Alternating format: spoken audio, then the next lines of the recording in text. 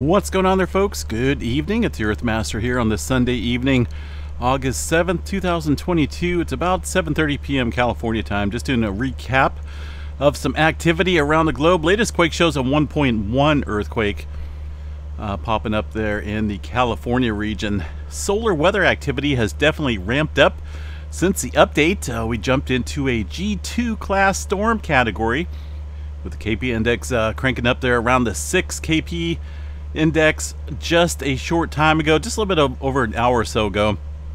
Uh, we've seen things kind of ramp up. This was kind of unexpected uh, far as the events unfolding tonight. Uh, now we could see auroras up there around the higher latitudes. It looks like a 60% chance of the auroras kicking up here. Um, latest update Looks like uh, even these guys were kind of uh, surprised here from the solarham.net site. Uh, that escalated quickly. A moderate G2 geomagnetic storm is currently in progress thanks to a high-speed solar wind stream now flowing past Earth. Uh, visible aurora will be possible at higher latitudes once it's dark outside. So we're talking about, uh, of course, up here around the uh, Canada region, possibly into Iceland. Could you imagine that being over there? Um, in Iceland, uh, videotaping the volcanic activity, the fountains of, of fire coming out of that fissure, and then also seeing the auroras. Basically, a two for one reward right there. That's pretty pretty awesome to think about, uh, and I'm sure they got that uh, visual up there tonight of the auroras. Now, again, this uh, kind of kicked up here earlier. Unexpected G2 class storms can uh, cause some issues if they are long duration uh, for power systems and whatnot. Higher latitude power systems may experience voltage alarms, uh, and long duration storms may cause transformer damage for G2 class storms. Uh, spacecraft operations and whatnot may have some issues as well, uh, and it looks like high frequency activity can be affected at the higher latitudes. Uh, it looks like aurora has been seen as low as New York and Idaho, typically 55 degrees geomagnetic latitude. Um, so yeah, I'm not for certain if it's going to get down there that low tonight uh, into the upper tier states, but you never know. The uh, forecast, make sure we got the latest update here. Kind of looks like it is stretching down into portions of Canada right now.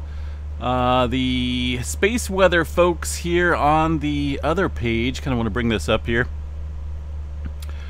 Um, they say pretty much the same thing, although they use the word unexpected solar wind stream in here. Uh, it looks like naked eye auroras can descend as far south as, uh, of course, as I mentioned, New York and Idaho. There was a pretty cool filament uh, earlier. Uh, that was actually yesterday, it looks like. Didn't see this until just uh, just now. This little, shouldn't say little because it's huge. Uh, beautiful filament kind of erupting off of the sun's surface there, hurling pieces of itself into space, so to speak. Uh, this debris will not hit Earth. Otherwise, that could spark up some further storming. It is definitely away from Earth. Um, looks like there are three more filaments arrayed across the sun's southern hemisphere, and two of them are almost directly facing the planet. So we'll see what happens right now. Uh, current speed for the uh, solar winds up, they're elevated about 574 km per second. Density as well for the protons are elevated at 20.13. So things are on the increase uh, for the activity uh, tonight. How long this is going to last, who knows? We'll definitely have to keep an eye on it as, uh, like I say, it just kind of came up out of the blue. And uh, we'll, we'll see, right? We'll see if we get any uh, further uh, elevated conditions. There is the coronal hole activity.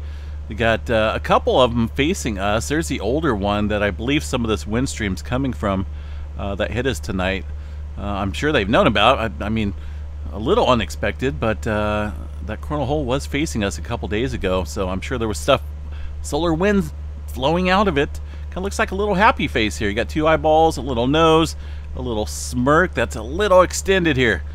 I don't know. I see all sorts of shapes and whatnot, faces in the sun, so I better just move on. But either way, a couple more coronal holes around the bend here. Got to watch this weather, uh, this solar weather activity pretty closely. Far as the flare activity goes, uh, not a whole lot of potential. Only a 40% chance of seeing any type of C flare from the current sunspots, which are not all that dynamic in terms of their complexity. Uh, complexity. So we'll watch it though. Uh, they could develop uh, maybe over the next couple days. We'll see how that goes. Uh, earthquake activity. Let's go ahead and check out. Have we had any strange readings for earthquakes now that the uh, storm has hit? A lot of times we do see earthquakes ramping up during solar storms. In this case, not a whole lot. Uh, we haven't seen any major quakes, haven't seen any odd uh, activity at any volcanoes. Everything still stand, stands as uh, as it was. we did see a little bit more activity up around the Japan region, the Izu Trench, and also down in the Papua New Guinea area. So we're still trying to get a little bit of westward migration here of the pressure, the Pacific Plate, and the dynamics itself here.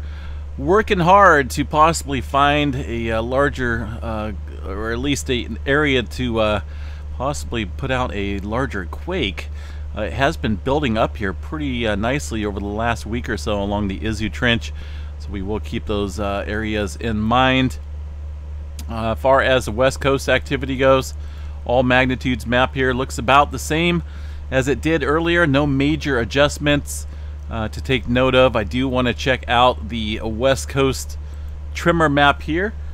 This is the tremor along the Cascadia subduction zone, and that's a pretty good jump from last night. Uh, 273 epicenters of tremor, mostly confined here to the Washington and the Vancouver Island ranges. This is kind of the northern end of the Cascadia, working its way down there. Uh, again, when we see these large-scale events uh, up around 600, 800 in a day, uh, that tends to make me think that uh, we see a higher likelihood of possibly seeing the Cascadia have a quake.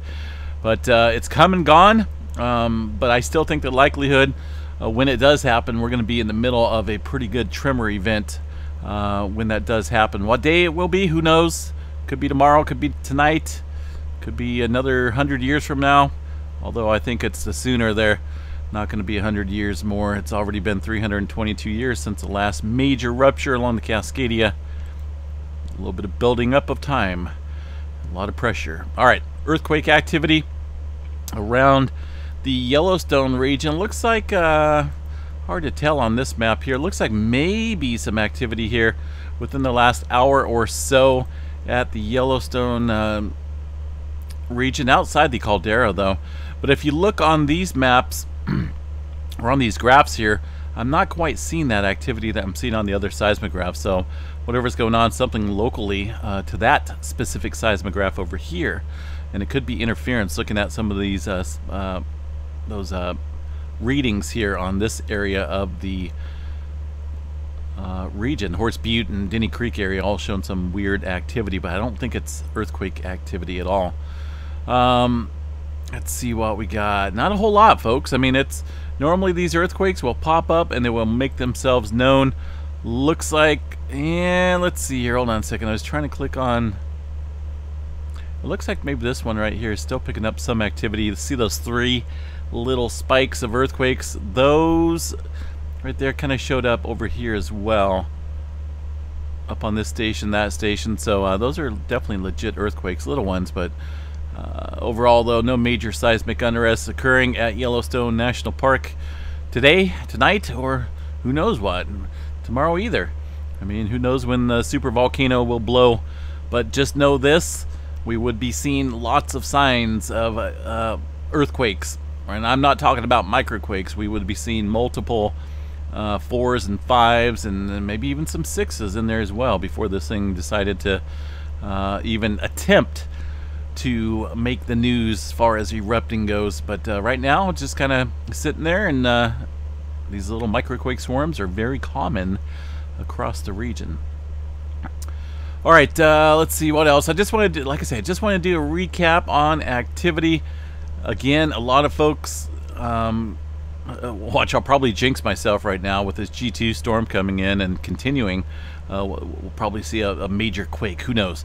But a lot of times we do when we get hit with some solar flares, some big solar flares and solar weather activity, we start noticing an increase in earthquake activity and volcanic activity. But right now, I'm not seeing it. Again, how long does it take? Does it take a little bit to to enter, penetrate into the ground, and or cause pressure? I don't know, but we'll uh, keep an eye on it for sure. All right, guys, I'm out of here. Have a good night. stay safe out there. And uh, if you happen to uh, see any aurora pictures, shoot them over to me in an email. We'll pop them up here on tomorrow night's show, earthmastermail at gmail.com. Take it easy, folks. Peace out.